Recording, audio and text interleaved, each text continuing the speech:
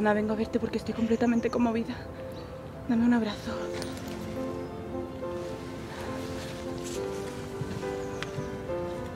Ya sabes que yo siempre te he querido a pesar de lo verde que te he puesto. Pero no sé lo que ha pasado, me ha abierto el corazón. Quiero que me perdones. Vea, qué sorpresa. Hacía meses que no nos veíamos. Me tienes desconcertada. ¿Qué es lo que está pasando? No me esperaba esto de mamá. Ayer me dijo Nacho que me ha dejado en herencia la casa de las rozas y no me lo esperaba para nada. Tengo que ir a verla. Después de casi dos años sin hablarnos. Siento decirte esto, Bea, pero Nacho está mal informado. Mamá ha hecho el testamento, sí. Yo lo he leído y la casa de las rozas me la deja a mí. A ti te deja la bordilla de Arturo Soria. Puedes comprobarlo. Tienes acceso al testamento. O sea, que me ha dejado la cochambrosa guardilla de Arturo Soria. Que saber en qué condiciones estará. Sí, desde luego, para habitarla hay que invertir un dinero. Una vez restaurada tendrá su valor, porque la zona es buena. Y a ti, como te sobran casas, te da la de las rozas. Claro. Ahora entra todo dentro de la lógica si es que lo otro no podía ser real. Que la cabrona de mamá me sigue odiando como siempre. No hables así, Bea, por favor. Que no hable así. Tú nunca has querido escuchar las verdades, Ana.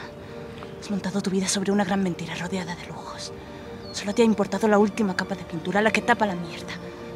Todo es aparentar. Aparentar como mamá para que vea la fachada de tu matrimonio con Luis, que se ha ido al garete hace ya mucho tiempo.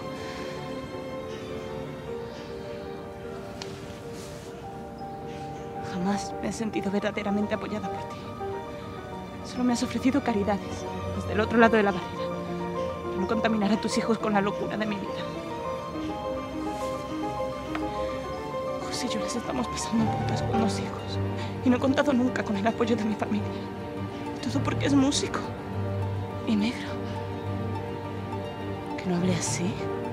Hablo como me sale de los cojones.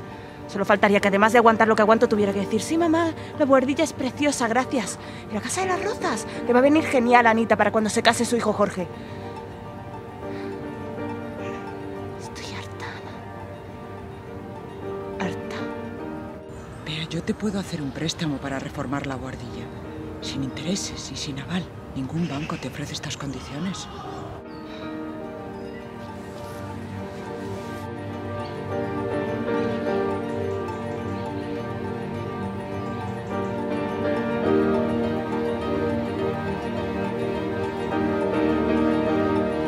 No seas así.